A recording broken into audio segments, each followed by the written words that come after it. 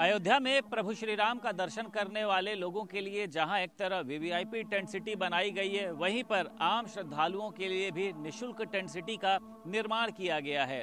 आप देख सकते हैं हम उसी टेंट सिटी में मौजूद हैं और नेपाली बाबा की ओर से ये टेंट सिटी को बनाया गया है।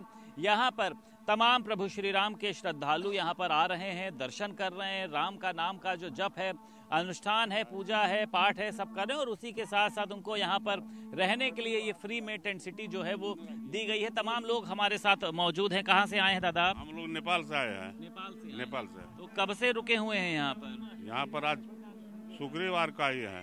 अच्छा। अभी तक रुके हैं। अभी तक रुके हैं। हाँ, रुके तो हैं। टेंट सिटी जो है यहाँ इसका कोई आपको पैसा नहीं देना पड़ा नहीं बढ़ पड़ा है। अच्छा आप कहाँ से आए हैं? नेपाल से।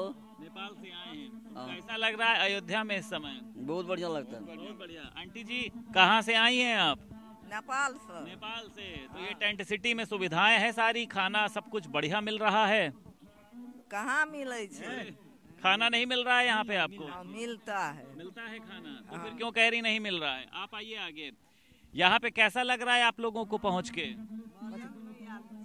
कैसा लग रहा है आपको? हम बढ़िया लग रहा है। भगवान के जन्मभूमि है यहाँ दर्शन के लिए आया है। ये माटी पवित्र है। ये पवित्र के हम लोग नेपाल से आया है। भगवान के भूमि देखने के लिए ऐसे ही भगवान के नाम जपने के लिए हम लोग महा खुशी में है। हाँ। सब तरह से खुशी में है। हाँ। हम लोग नेपाल से आए एकदम खुशहाली में। हमारे रामचंद्र भगवान को यहाँ पर मंदिर नहीं बना था ये बना है। उसके लिए बहुत हम लोग खुशहाली में है। ठीक है। एकदम ठीक। हमारा बहन है सीता महारानी हाँ जनकपुर के यहाँ भी इसका इसका घर है इसका वह पति को सासुर के सास के घर है। यहाँ ये बसे हुए है। वो लेकर हम लोग आया है।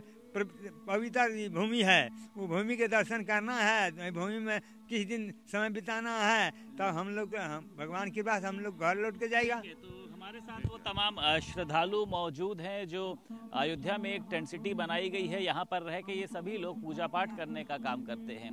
अयोध्या से वीडियो जर्नलिस्ट अरविंद कुमार के साथ संदीप खेर, भारत समाचार।